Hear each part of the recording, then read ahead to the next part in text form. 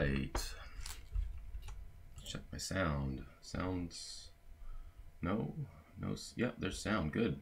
So as far as I can tell, I'm looking good. I've got a, quite a few of you tuning in, so welcome to everybody um, joining us. I'm going to try today uh, to present to you the 45 minute shooter. I've had some ideas. I actually pre-coded a little bit, which I don't usually do.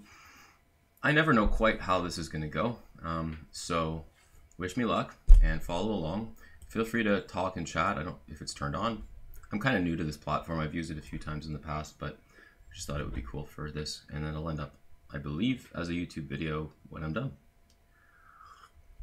All right, so let's go over to take a look at Greenfoot and sort of define our project.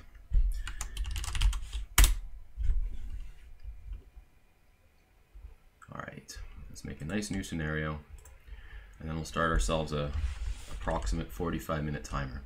So we will call this uh, 45 minute space shooter.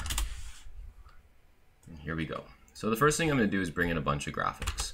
Now, as you saw, uh, as I had this folder open, I pre-made some graphics here to work for us. I've got a space background. I've got some projectiles. I don't even know how these are going to look because I never really got a finished example going.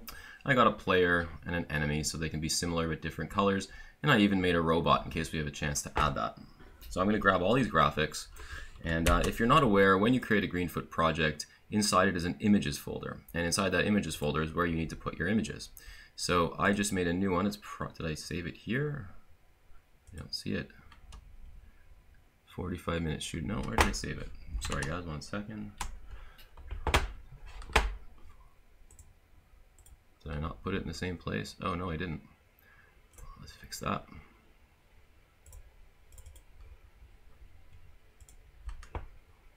All right.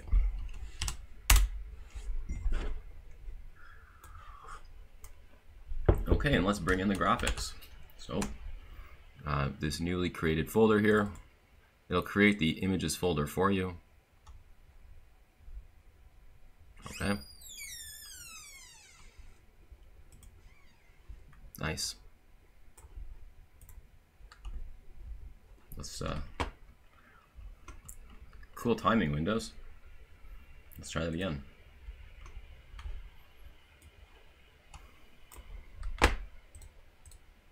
Mm, code.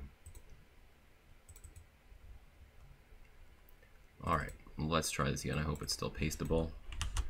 No, of course I lost it. Let's try that. Let's grab it.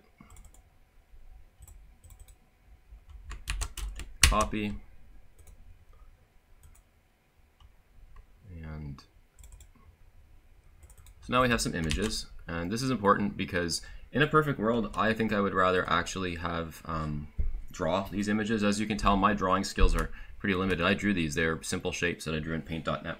Um, so this way we don't have to draw them, but it would be cool if you're using geometric shapes to actually draw them in Greenfoot with drawing commands. But anyway, you'll notice that they're named nice and neat. Oh, this one should start with a lowercase letter to be consistent. When you're naming your files, and by the way, my timer hasn't started yet. Uh, when you're naming your files, you should always consider, did I not just rename that? Okay, Windows. Weird. There it is.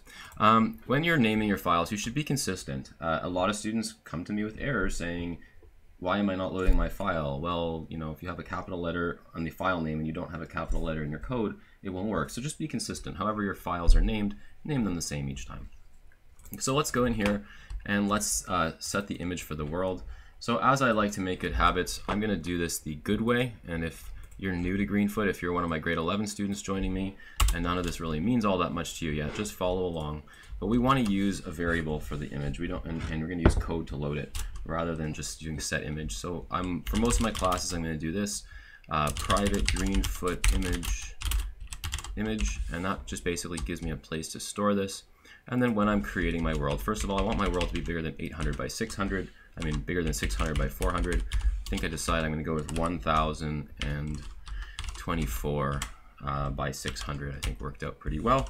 And then I want to set my background image, so I'm going to say image equals new green image. I believe it's called space1.jpg. We'll know pretty quickly if I'm wrong. And then I'm going to say set background image. Now, just as a side note, when you set an image as your background in the world, it has to be a fully opaque image. If there's even the slightest bit of transparency, it simply won't work. Uh, let's see if this works, or if I, there it is. So the file name became the image. I set it as my background. I set it as a bigger size, and now I have some space to work with. So let's go ahead and make our player. That's going to be sort of our first uh, subclass here. But before we do that, I want to introduce you actually to something in Greenfoot you may never have seen before called the Smooth Mover. The Smooth Mover is a simple way to, to add uh, more precise movement to your game. If you've seen this before, where did it just go? If you've never seen Smooth Mover before, what it effectively does is it lets you make actors able to set locations based on doubles instead of um, just ints. And that can really make your game smoother, which is why it's called Smooth Mover. I'm not going to get too into it right now. I have, for grade 11s, I'll do a whole a little lesson on Smooth Mover later. But I'm going to make player, I don't want to use that image.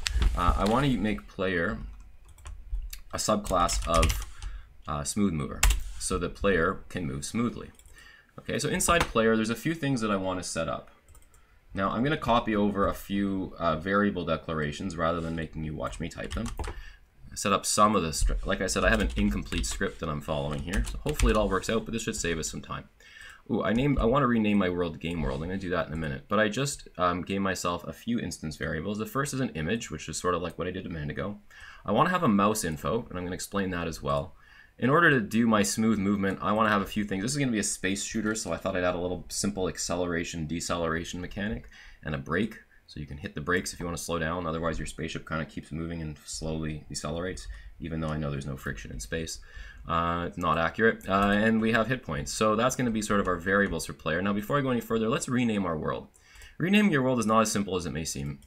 The best way to do it is to rename it right here and then to also rename the constructor. If you have created your own constructors, you're more aware of this, but if you just let it sort of create the code for you, you'll notice that this matches this. And if you're in my grade 12 class, you know that this is called a constructor. It has the same name as the class. It's a method that call, gets called to create this object.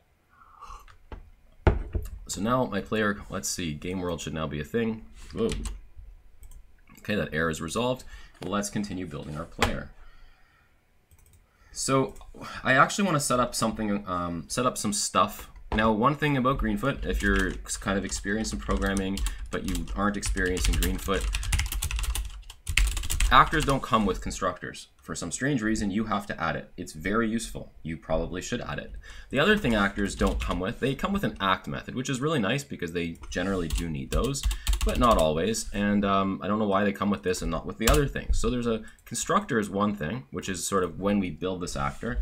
The other useful method that a lot of people don't know about, uh, even me for the first year or two or three that I programmed in Greenfoot, is this method called added to world. This is a method that automatically, automatically, uh, but it is magic, gets called by, sorry, I just want to make sure everything's good here. Shooter game speedrun. Yeah, cool. I, I can go with that comment. Um, added to world gets called automatically by Greenfoot, and this can be very, very useful. So um, I'll leave that there and we'll add to it in a second. Again, automatically gets called, right? So when you get added to the world, this is a place where you can put code and you don't have to say if this is my first act, if I used to make a big workaround for this. I didn't know there was an added to world method and then I realized that and I went, why isn't that there? So there it is. Uh, so I'm going to set up some variables, uh, and again, I'm going to just sort of paste this in and we'll uh, go through it. I'm setting up my image to be player.png, and this set image command always comes next. Set image basically means take this Greenfoot image and make it the one that represents me in the world. Um, you can only have one image set at a time, but you could set lots of images to, for example, do animation if you wanted to reset the images every so often. I have a uh, couple of variables here that might not mean anything to us quite yet, but will in a few minutes. I have a speed, which is my starting speed. I'm going to start at the speed of zero. And so this isn't how fast I can move. This is how fast I am moving. Max speed is going to be how fast I can move. Acceleration is going to be basically every act, if I'm holding my accelerator button, which is my forward movement button, um, how much do you want to add to my speed? Decel is if I let go of the button, how fast should I decelerate? And brake factor is if I actually press backwards, how much faster as a multiple should I decelerate beyond decel? If you don't have any idea what I just said, don't worry, it'll hopefully make sense when I put it into context for you. The next thing I want to do, um, I have this variable here, this instance variable called game world, and you may have been wondering what the heck that's for. Well, I want to always have a way to refer to the world without having to call get world every act. So I'm going to actually save a reference to my world right here in the added to world function. And so I'm going to say that uh, game world equals game world w. This is a cast. If you've never seen grade 11s, you might just be seeing casting as in from a double to an integer or from an integer to a double. When you put a type in brackets next to an object or next to a thing, it will convert it, if you will. Um, and so this is going to convert this from a regular world, it comes in as a world. Greenfoot can't predict what kind of world it's going to be, but it's going to turn it into a game world. It's going to cast it because you know it is one. You're only ever going to add the player to the game world.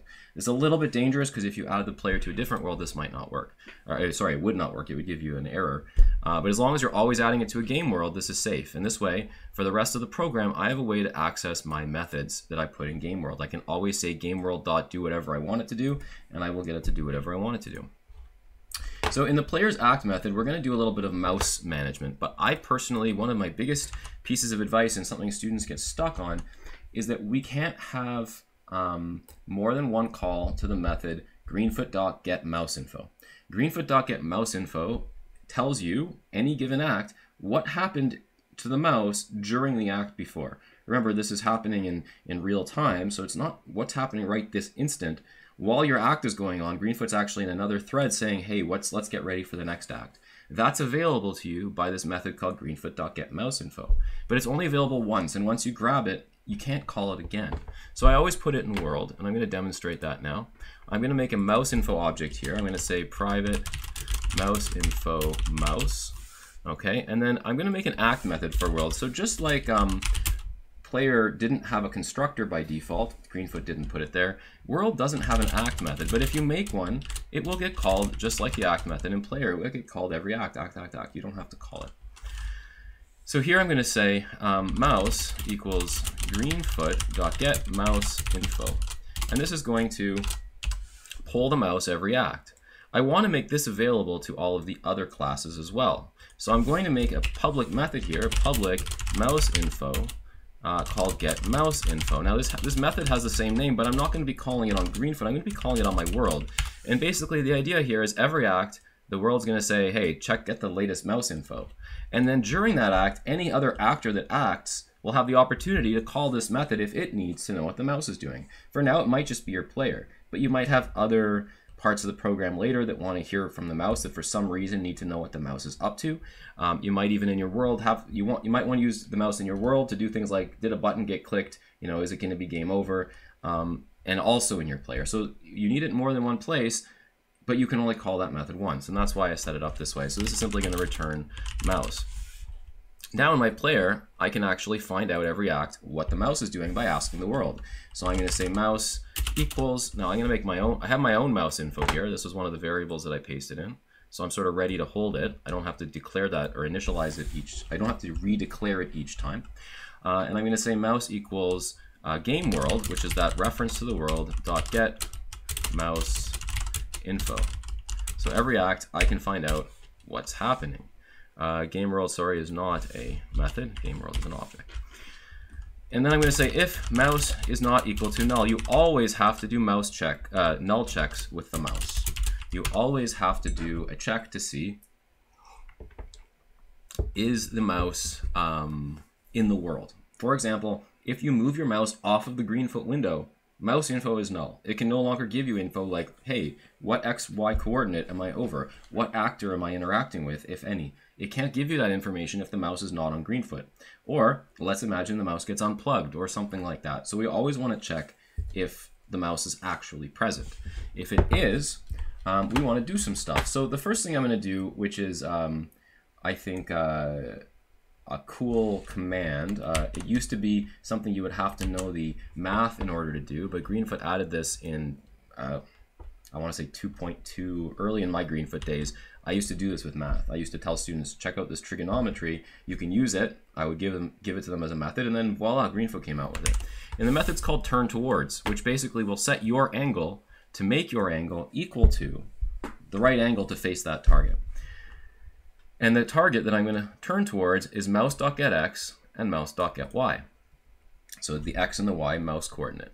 Now, um, turn towards is really neat, but you can't just say mouse. You have to actually give it an x and a y. Sometimes you could make a helper method that would just take an actor or whatever, but this should effectively, if your mouse is in the world, turn towards the mouse.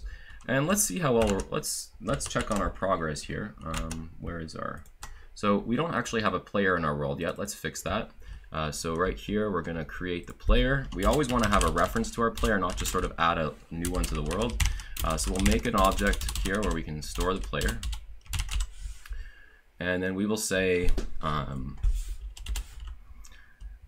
player equals new player. Right now our constructor is blank, so it's just open bracket, close bracket, add object, player, and we want to add it right in the middle of our world. So that would be 512 by 300 would be the center of our 1024 by 600 world.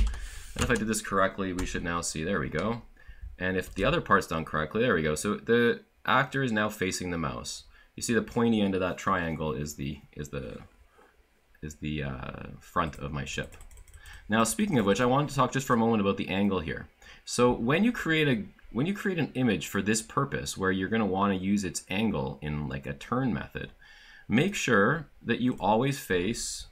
This is the enemy one. Make sure that you always face it to the right. This is angle zero. So don't face up. Sometimes people want to face up. Facing to the right is the zero degree angle if you're going to use this sort of turning based, uh, using you know move and turn rather than set location to move your stuff around.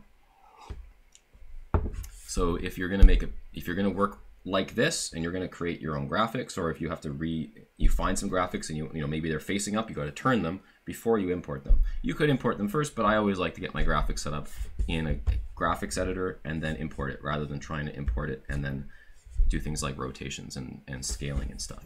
So, so far so good. My character's there, he turns. Uh, and now I think we need to teach him how to move. So let's go back to our player. And where's our player? Where's our code? Sorry, there we go. And so after we get the mouse info, we've turned, um, oh, sorry, wrong class, player. After we get the mouse info and we've turned towards uh, the next thing I want to do is one of three things. I want to either accelerate if the key is being pressed down. I'm going to use W for forward. I want to decelerate if nothing is being pressed. And I want to brake if the down button or the S is being pressed.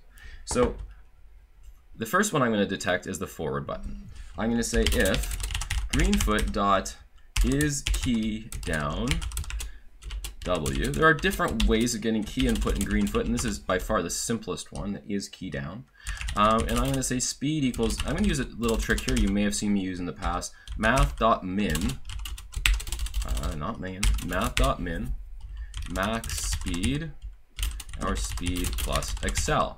So what this is basically saying is, I want, Greenfoot, what did I do wrong here? You maybe meant is key, oh, yeah, I missed a letter, that's pretty good.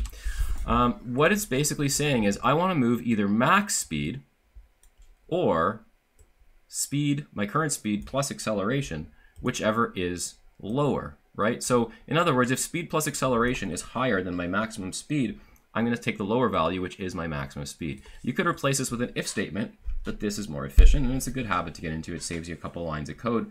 Uh, it's just a neat little, I promise you some neat little clever tricks. You've probably seen me do that one before, uh, but that's definitely one worth knowing. Uh, so I'm going to mark this, oh, before I do this, I'm just going to mark this here as, this is accelerating. Accel, okay? And then here we're going to have decel. So this is when we're slowing down. Um, what's going on here? Did I? Else if, oh, wrong bracket, that's why. Else if decel, okay, uh, else if, we need a condition. So the the opposite is going to be braking. Greenfoot dot is key down,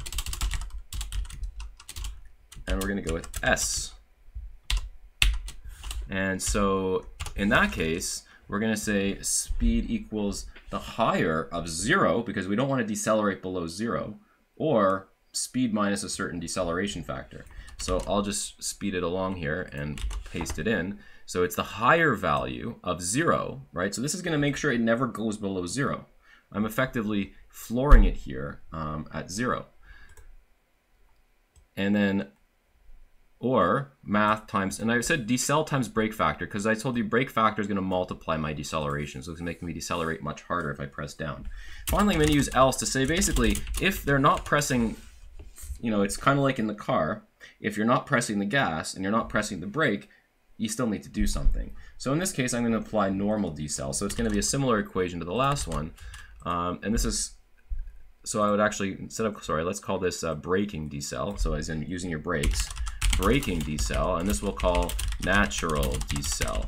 Yes, someone's going to tell me there's no deceleration from friction in space, and that's okay. I can live with that um, scientific inaccuracy. All right, let's see how that looks. Oh, before we, now we actually have to do something with the speed. So let's move at my speed. Now, you might have wondered why I'm using this smooth mover thing. The reason is I want my speed to be able to change by very small amounts. Every act, I want my speed to change by 0.1. Greenfoot can't actually move your thing less than one full pixel, but it can do the math. And if it's doing 60 frames per second and you move 0.1 pixels per second, it can do the math and see that it takes you 10 acts to move one pixel, right? It can do that, that rounding for you so that even though it's not actually moving the same number of pixels per act anymore, it's figuring out which act to move in order to achieve the overall speed you're after. So here I can accelerate and decelerate smoothly. And let's see what this actually looks like now and I can accelerate and decelerate, right? So I accelerate, that's my maximum speed, but when I let go of, I don't know if you guys can hear my keyboard, I'm letting go now. It falls a little, right? Let go now, let go now, right? But if I press the brake, it stops much faster. Brake. So that's kind of some cool, uh, simple acceleration-based movement. If I had more time, I would deal with this. What happens when your mouse, you know, when you're moving and you get like close to the mouse. Um, but that would take a little extra time, and then I just decided to skip that for now. But this is, so this is a good start. Now let's make something to shoot. Okay, so we're gonna need some enemies. For now, I'm just gonna make the class enemy. And um, I'm not gonna do much except give it an image. So let me just check what the image is called for this. The image should be called enemy1.png. I think I was going to make an enemy too, and I didn't get there. I think I actually have it right up on paint.net, but regardless, let's make him an image, just like always, private Greenfoot image, image. Okay, and then I'm going to make a constructor, public enemy, and in here I'm going to say image equals new image, and it was called, what did I just say, enemy1, enemy1.png. and set image image to make the actor actually take on this image. Now I'm just going to spawn a couple of enemies um, in sort of random locations so when I shoot I have something to shoot at and then later hopefully we'll have time to fix their spawners. If I don't finish this by the way in the about 40, I'll give myself a few extra minutes but if it gets a little out of hand don't worry um, I will always happily say uh, to be continued and continue it but I think I can get through most of this. I think I can make this pretty good. I hope.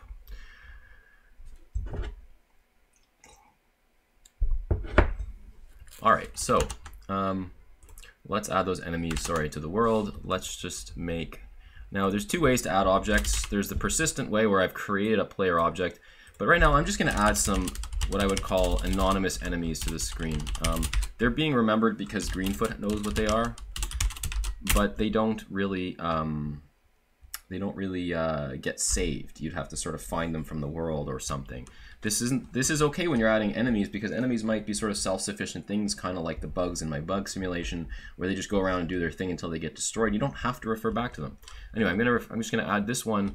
I'll add it. Let's say a little bit away from the left. Let's say 30 pixels away from the left, and somewhere in the middle on the y-axis. So I'll give it a nice uh, 200, and then I'll add another one in a different direction, new enemy.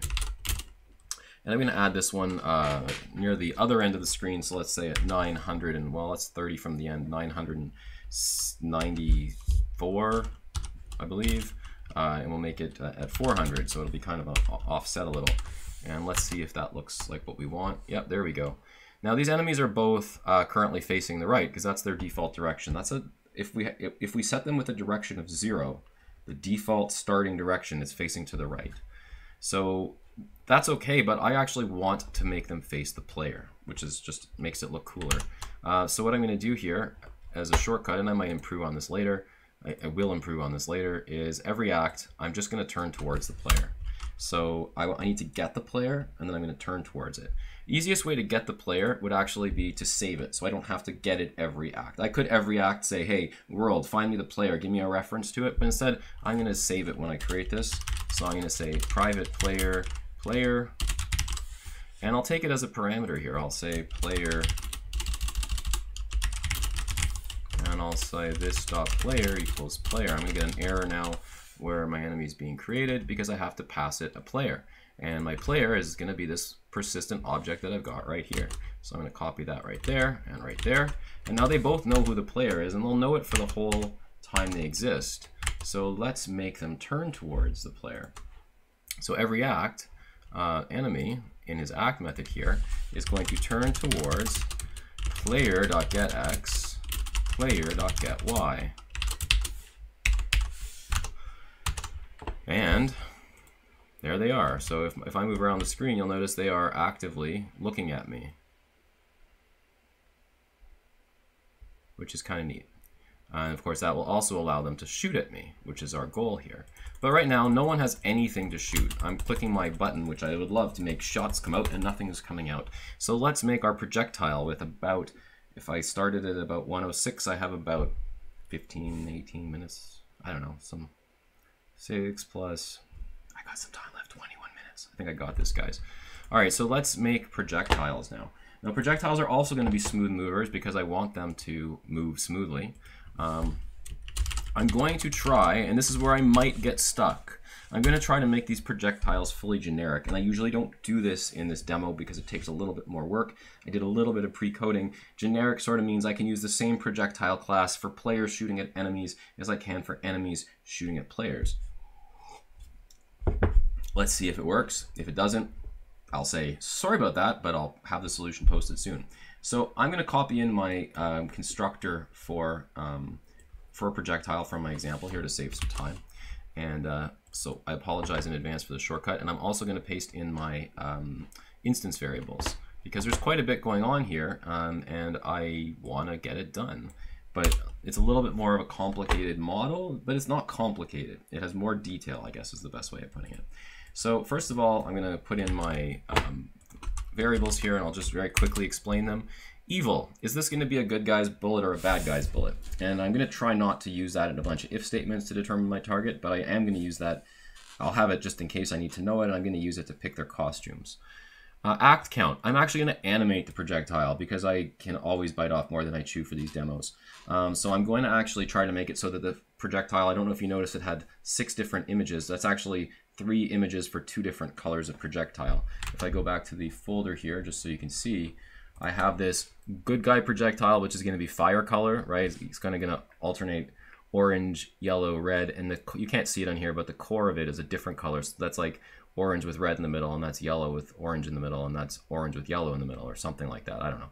I tried to make it so that if I flickered them, that would look cool. And these are the bad guy projectiles, green, sort of pink, and purple, but there's pink in there, or purple in there. It's I hope it looks good. I haven't actually seen it in action. So that's why I have a bit of extra work here um, with uh, with the code. Like act count is basically so I know if I'm going to animate to the next, I'm going to switch to the next costume yet. Now, class I'm going to talk about in a minute. This is tricky. This is going to tell it what type of class am I seeking, what, who am I after here. And using class as a variable type is kind of tricky, and I might trip on that. So if I do, I apologize in advance. I wasn't able to fully flesh out my example to test it on time because I was giving a lot of kids extra help before, and well, that's important. And if I don't, if it doesn't work, it doesn't work, but I will fix it. I think it's gonna work. All right, here's my array of images. So if you're in grade 11, you don't know what an array is yet, it's just basically more than one image, and they're associated with one thing. So images is going to be the images that I'm going to rotate through. It's going to be three. It's going to go one. It's going to go zero, one, two, zero, one, two, zero, one, two, zero, one, two. Image index is going to be, is that a zero, a one, or a two right now? So I know what the next image is. Target X and target Y is where I am flying towards. So I can make sure that I, there's a problem with precision in angles. And as long as I keep turning towards the same angle, it'll be just fine. The there's a way to fix it with making a precise rotation instead of an integer rotation. You have to turn it into a double, but I'm not going to do that because I don't have time right now. Uh, and finally, damage is How much damage is this projectile going to do when it gets when it hits its target? Uh, I'm going to bring in the constructor here, and I'll sort of explain that to you. And so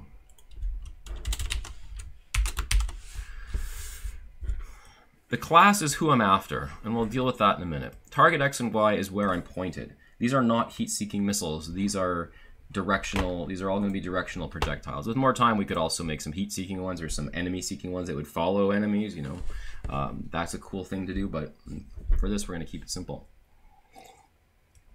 Whether this is an evil projectile or not.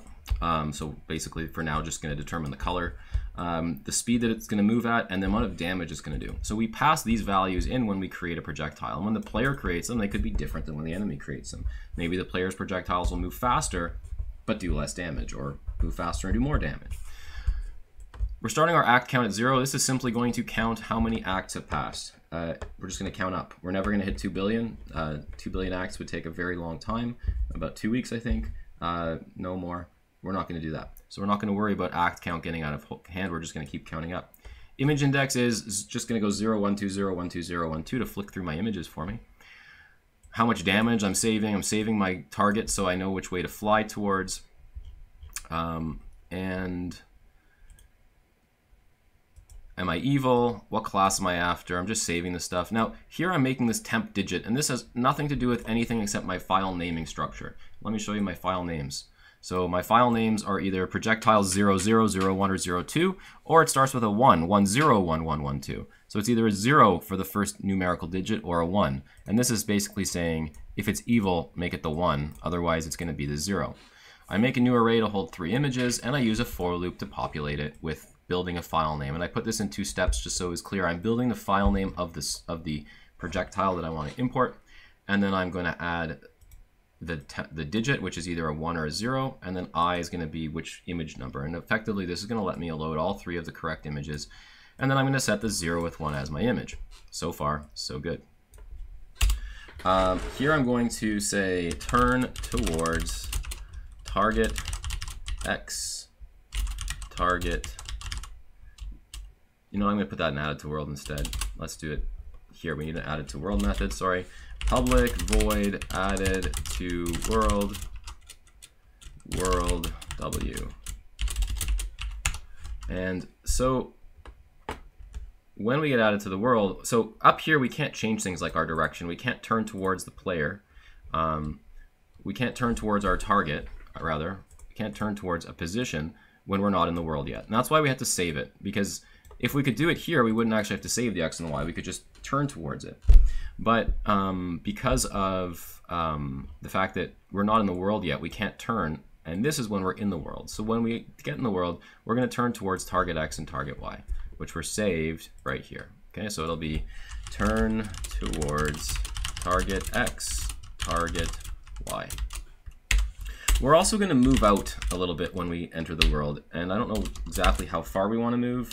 I think about 16, and the reason is that we're going to appear at the same place as the, the thing that spawned us. So when the player spawns a bullet, it's going to spawn right on top of the player, um, right it's going to spawn right on top of the player, um, right in the middle of the player. And we don't want it to spawn right on top of the player. We want it to sort of spawn in front of the player because when you shoot, usually it doesn't come from your middle, it comes from sort of in front of you. So that's why it's going to move. And I believe player was 32 pixels wide. So, well, we'll see if it looks good. And then all we have to do here uh, is move at our speed. So move speed and say if, uh, so we, we want to do two things. We want to check for collisions and we want to check for the edge. Uh, but for now, we're just going to check for the edge. So I'm going to say if is at edge. This is a actor method call that checks if I'm at the edge of the world. And I'm going to say get world. oh, we have the world. I don't need to get the world. No, uh, no, sorry, I'm thinking of enemy. We don't have it here. Get world dot remove object this, which will say when I get to the edge, move me, remove me from the world. Let's see if we can make the player shoot now. The player's gonna have to provide all this stuff to shoot. Um, now, let's see if we can make that work. So player, I'm gonna say here, if the mouse is clicked. So to see if this mouse is clicked, we're already, no, let's just go back here for a second. We're in the middle of the mouse info method. So the mouse info method is, I'm sorry, the act method where we've gotten the mouse info and we've checked if mouse is not equal null. Previously, we just used this to turn, but now we're going to aim to use this also to shoot. So the code for uh, mouse button checking is get button on the mouse info, and the if statement would look like this. If mouse dot get button equals equals 1. So 1 happens to be the left or primary mouse button. Three, as it happens, is the right click if you wanted to do something with right click. Two is if they click the scroll wheel. I don't think there's a way for Greenfoot to read up and down from the scroll wheel, practically speaking, but one is the most important ones to know are one is the left, two is the, or sorry, three is the right. So I'm going to say if that's the case, then I want to add a new projectile. Um, I'm going to just grab my code here because it's a long line of code. Um, the projectile has a bunch of things in its constructor. So I need to tell it that I want to be a projectile. I'm going to chase after enemy.class. I don't think we have, oh we do, we have an enemy.class. So far it's pretty empty, but it's there. I want to chase after enemy.class. I want to target the mouse's x and y coordinates, so that's what I'm going to face when I before I fire. Um, it's going to be uh, false means I'm not evil, I'm the player's bullet. That's my speed 6.0. And what was 3 again? 3 is the, oh, how much damage I'm going to do. So that's how much damage I'm going to do. And I'm calling the add object method. I'm going to add it at my current x and y coordinate. So this is the player's code. So get x and get y means put the bullet in the world, or the projectile in the world, where I am. All right, let's see if that works. We're already ahead of where I got in the demo, in my uh, little code demo here. So let's find out if that works. Oh, no, I got an error. Let's find out. Java file not found exception, projectile 00. Oh, oh, I think I might have projectile. Did I forget the .png? Oh, I did. Plus .png. That's good to know. Told you I got further than my demo. And projectile 03. Let's see, why can I not find projectile? Did I count too high? Less than or equals, oh, it's less than or equals two. That's why. Sorry, guys. There we go. Nice. Those are cool looking projectiles. Um, I don't see them animating though. Oh, I know why. Okay, so let's go back into our projectile for a minute. There's a couple things we need to do. First of all, that is some wild shooting. We're probably going to want to have a cooldown, but we'll see. We'll work on that in a minute. The um, animations are not happening because I haven't actually added that to the act method. So let's finish that part up. So I need to count every act. Um, I need to.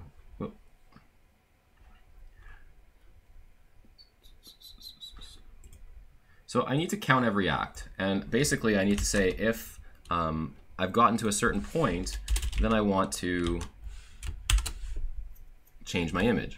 So act count is just going to increase this variable we created up here. That's a simple integer. It starts at zero, and every act it counts up by one. And this is just going to let us know how often, um, how many acts have passed. We're actually going to use that with modulus to say every 12 acts, or every time it divides evenly by 12, um, that we're going to uh, go to the next image. Okay, so that we could change this number. If we made this number smaller, it would animate faster. And if we made this number shorter, it would animate slower. And we can try different ones. Oh, let's try six, actually. I don't even know what it's going to look like because I told you this is about as far as I got in my little demo, in my little practice run. Um, so image index plus plus um, means that we're going to go to the next value. And if we've gotten to the end, I could have used math.min again here, but I just thought I'd use a nice simple way. If I've gotten to the length, so length is too high. Remember, you can't look at it, you can't use the length value of an array. That's that's one more than its highest index. Uh, then I set it back to zero. And finally, I set the image accordingly. Uh, okay, so let's see if that works. Now I should be, yeah, there they go. Now my things are flashing, which is kind of cool. All right, and I'm gonna have to implement a bit of a cooldown here because this might make my game a little bit too easy. Maybe. Um, so let's try to um, implement a simple cooldown mechanism. Um, so in my player where I'm doing the shooting, I don't actually have an act counter here. Let's make a, um, let's use time. So I'll do a very simple implementation of time here. Private, long, last shot, private, um, private int. No, you know what, let's use acts. This is, I, I don't want to, we're running out of time and I just want to keep it simple. So let's just use an act counter, private int act counter, and we'll just do the same thing we did in that other class. Act counter. If I, in a perfect world, I could use one act counter in the world. There's lots of ways I could make this, oops, act counter equals zero, sorry. I could make this simpler in a lot of good ways, but, um, I sorry, I could make this better in a lot of good ways, but of course, time is of the essence here, and I want to keep it moving. So now I'm going to have an act counter, and every time I shoot, I'm just going to say um, if mouse button equals 1, and last shot minus act, we have to make that act counter is greater than cooldown. Okay, so let's just think about this. I just made this up as I went along. It doesn't make sense yet. Uh, so last shot is going to be when did I do my last shot. So we're going to need a variable to keep track of that. And I'm going to need cooldown to see how many acts is my cooldown. So let's make a last shot and a cooldown. Um, private int last shot, private int cooldown. So uh, last shot will start off as zero. Last shot equals zero because uh, we didn't shoot yet. And cooldown equals, let's call it 20. So 20 is uh, going to be about a third of a second. So we'll have to actually be careful with our shooting. We can't just shoot, shoot, shoot, shoot, shoot, and win the game. Uh, so cooldown equals 20. And uh, when I shoot, I'm going to say last shot equals act counter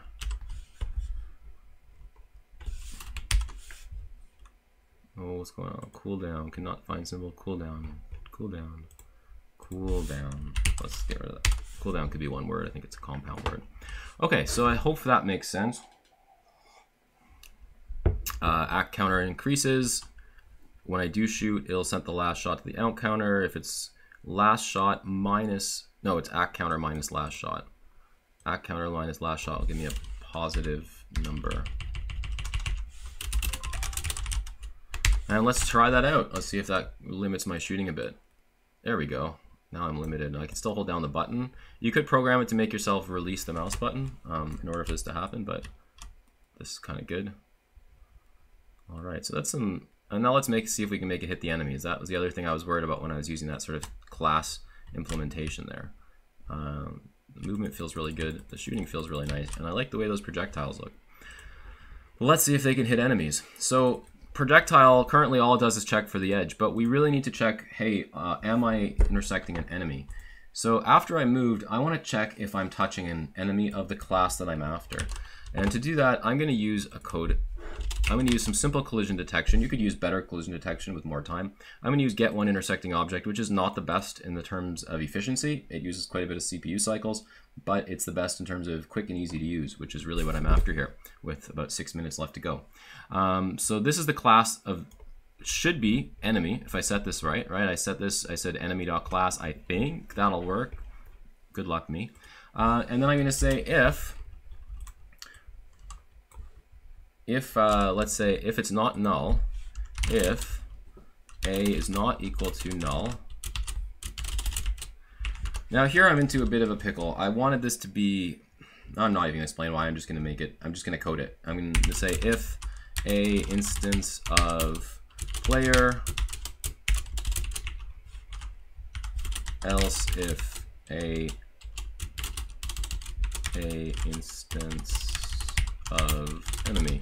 This isn't the ideal way to do this. Um, it would be more ideal to use the same dot class thing, but I wanted to make sure this actually worked, and so I have to go with what I know is going to work instead of the I, I would like to fidget with it, make it a little different, but this will work, I think. So if, uh, let's make them, if I'm in the enemy, um, I'm going to turn the into an enemy. Enemy E equals, this is again casting. If I know it's an enemy, I can cast the actor into an enemy. In other words, this is an actor, right? I got an actor because get one intersecting object will always return an actor and you can't program that to return something different. But once I get the result, I'm going to actually say if I know it's an enemy, then I want to turn it into an enemy. And why am I doing this? Because then I can call methods an enemy. Uh, or in this case, I'm not going to give my enemy hit points. I'm just going to say uh, get world dot remove object e. So in other words, when I hit my enemy, he's just going to get destroyed. I could instead call a method on, on E here. Um, if this was the player I would want to, maybe I'll change that in a few minutes, which is why I put this here. But for I could have put A here, but so you see kind of how you can grab enemy. If there was a method like E dot blow up, you know, like to make him have some kind of effects, you could do that instead. You could call those methods. But for now, I want to keep it simple and do that. So let's see if that works. I should now be able to shoot and remove the enemies. Please. He went away, and so did he. Uh, so that's good. The enemy.class thing did work, so I'm happy with that. Now I've got to get the enemies to shoot back at the player. Um, the player, does he have hit points yet? Yes, he does. He's got 50 hit points. So he needs a method to get hit. Um, so we need a hit me method, effectively. And so I'm going to grab a simple hit me method that I coded earlier. This is another one of those methods, if you're new to me talking about modular reusable code all the time, this is one of those things that's always applicable. Getting hit for damage is math.max either zero or hit points minus damage. So in other words, if you have 10 hit points left and you get hit for 20, most games don't want to hear negative 10. They just want, oh, zero hit points, knocked out, you're done. Um, we don't want the value negative 10, so this is just, instead of using some if statements to set it to zero, it's using math.max. And since we don't have an end screen yet, I put greenfoot.stop uh, if I've reached zero. I might make this less than equal to zero just to be safe, but I'm pretty confident in my code here that would that would floor it at zero, so I think we're okay. And let's see if that works. Uh, oh, the enemies can't shoot me yet. Let's make the enemies shoot. We're just about out of time, but I think we can fit in that one more thing. Uh, I'm going to make the enemies uh, shoot on a cooldown. So let's make another act counter.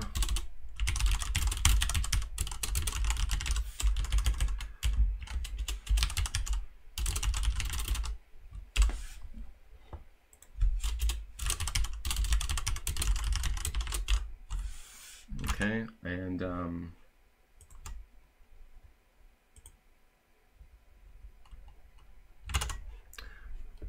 and uh, act counter plus plus, and then I'm going to say if act counter modulus 30 equals zero. Now I want to make an evil projectile. I haven't even tested evil projectiles yet, but let's grab the constructor from projectile so I'll know what I need, and let's see if we can uh, figure that out. So these are the things I need to pass it. Um,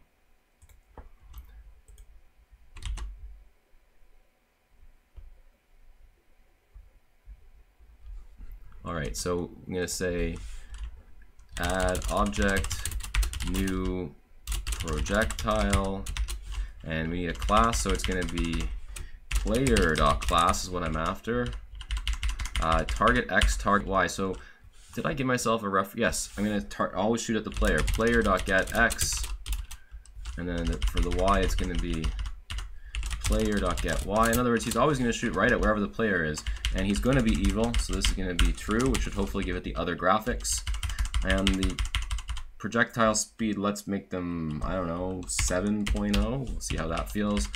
And we'll make them do 10 damage. So for these ones, if you get hit five times, you would die because you have 50 hit points. And we want to add them at the enemy's position. So let's get X, get Y, because we are in the enemy right now. All right, and uh, what did I do wrong? Method, projectile, int, int. Oh, then I did something wrong. New projectile, Oh, sorry, it's get world. Get world dot add object. There we go, perfect. Okay, so we're just pretty much out of time, so let's really hope this works. Are the enemies gonna start shooting me? Whoa, oh they are, and can I die? Well, no. That's disappointing, why are they not hitting me? Oh, I don't think, oh, I know why. Sorry, last thing. projectile. I don't think I programmed to hit the player. I said if it's enemy. All right, so uh, player P equals player P uh, A, and then P dot hit me damage. On that, my students and my friends should work. See if I can die now. Boom. Uh, ooh, I didn't. The projectiles aren't removing themselves, so one projectile just killed me. Let's just polish off that one little problem there. Uh, the projectiles need to remove itself from the world after they do hits. But if I put this here, uh, I'm going to have a problem if I remove them here, because then I'll get back to this code and it won't work. So I can only do this once. I'm going to set a boolean here. Uh, really easy way to fix this. Private boolean remove remove. And I'm going to set remove to be false from the beginning of the program. Remove equals false. But then when I've finally hit something, if a is not equal to null, if I've hit my target, I'm going to say remove equals true. And I'm going to say remove equals true. And I'm going to say if at edge or remove, then get rid of the object. And let's see if this now will fix shoot me enemies, and now I take, and I died on the fifth hit, which is correct, and my basic functionality works. So what do we have here? We don't necessarily have everything we would want to make this game complete, but I think in about 47 minutes, I've got this cool motion. I've got some shooting that's uh, towards the mouse. I've got, ugh, I'm not very good at it. Um, it'll always run towards the mouse so I can have some fun with that. And these enemies are kind of a little hard for the first level of the game, but hey, yeah, I'm not very good at this. I'll have to tune the uh, balance, but all the features work, and um, I think it looks kind of neat. Uh, simple shapes, simple shapes, animation, right? I just change the colors, and then when I run it, they look kind of cool. Um, so anyway, I hope you guys enjoyed that. I'm going to share this right now to the Greenfoot Gallery. Uh, so if you are interested, you can grab it. And I'm going to call it a work in progress because I would love to pick up and do a part two on this where first of all, um, we're going to, um, first of all, we're going to smooth things up with a little bit of game balance there to make it a little bit less deadly and impossible. Um, but we can also add things like progressive difficulty and, um, you know, other elements like maybe the player can have some friends, which I already created the graphics for and would be pretty easy to implement if we could start right here and have a ton more time. I see that quite a few people tuned in today, which I think is awesome. Uh, a total of, uh, I don't know what playbacks means, but it says 78. And I've had concurrent viewership as high as 20. So I guess that's good. I'm not used to watching the screen. I don't really know what it means, but I'm glad you guys tuned in. Uh, well, let's call this the 45 minute shooter um, tutorial part one. I hope you enjoyed and maybe I'll post a link to this stream once it's posted, uh, so anyone who missed it can also go check it out. Um, I'm going to publish that right now before I even get off with you guys, and then you can take it up there. After I get off with you, I will also comment it up and republish it. So if you if you're dying to grab it, it's now officially on the Greenfoot Gallery with absolutely no commenting, um, but or almost. I shouldn't say absolutely. I did put one comment in there with accel, decel, stop, um, but it's basically commentless. I know that you probably would rather have comments. Uh, so I'll touch it up and I will repost it a little bit later this afternoon. I hope you guys all enjoyed that. Um, it really is, you know, my pleasure to do these kind of Greenfoot tutorials with you. I think a lot of people learn best this way. If you're in my grade 11 class right now, we do a lot of learning by example with even starting with simple things like before we learn graphics we still can learn a few simple game i'll build a few uh, certain games we'll have a class that kind of runs like this grade 12s there'll be a few demos days like this where we do stuff like this and um, i always take requests so if there's a feature you're looking to implement if you have ideas and you're not sure how to how to make it work ask me and sometimes i'll just give you an answer and other times i'll go hey that's a great thing i'm to implement that in the next in the next tutorial uh, so thank you guys all for uh, joining me. I'm going to sign off now. Have yourselves a fantastic afternoon, and hopefully I will see you for part two at some point in the future.